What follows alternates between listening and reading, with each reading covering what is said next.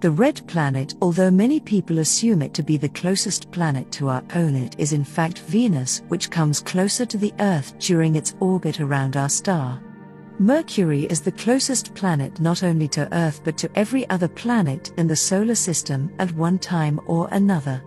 Yet these giants barren landscapes incapable of supporting life this reality is partly why Mars is so often the focus of man's attention in regard to our solar system's planetary bodies.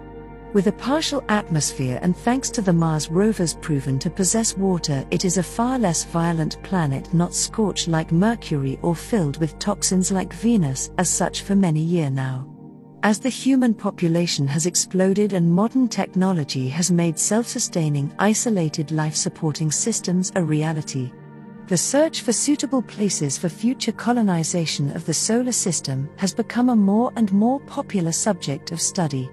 One of the most important additional factors for possible candidates for this exploration of space is the planet's distance from the Sun, nicknamed the Goldilocks zone.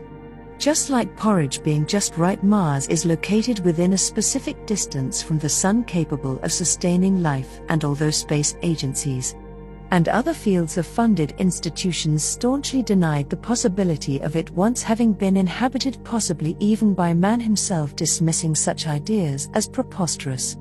Mars' desolate red oxide landscape is in fact uncannily similar to Earth's possible future appearance if humans were to continue unsustainable activities or a cataclysmic event were to occur.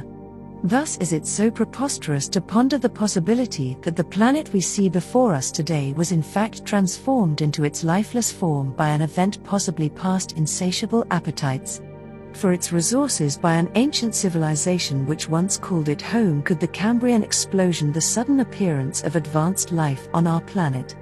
The evidence of terraforming could there have also been a similar yet now hidden mammalian explosion indicating our own sudden arrival here on Earth?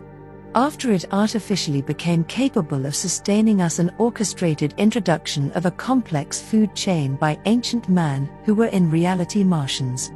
We have in the past covered some very strange occurrences on Mars, one in particular suggesting that possible black operations to colonize the red planet are already underway. The Mars rovers were given an expected lifespan of just 90 days. This estimation was based upon the notorious dust storms which choked its surface. Yet Spirit lasted an incredible seven years, surviving until 2010. An opportunity only recently ceased operation. This remarkable longevity solely a result of what has become known as cleaning events which for 14 years were repeatedly experienced and documented. Yet what is most curious regarding these events is that they always occurred while the rovers were offline. In July 2007, during the fourth mission extension, severe Martian dust storms blocked sunlight to the rovers and threatened the ability of the craft's survival. However, when the dust storms lifted and the rovers came back online, something had cleaned them up nearly all debris. On May 1, 2009, during its fifth mission extension, Spirit became stuck in the soft soils of Mars. Strangely, it seems because the rover was not moving, it missed subsequent cleaning events. Did our mysterious helper assume it had died? Join us in our next video, which will be an expose of artifacts, features ancient testimonies, and satellite anomalies. And other factors would support the conspiracy of secret Martian inhabitation, supporting the hypothesis of an ancient Martian civilization. That once called our red neighbor home evidential arguments we find highly compelling.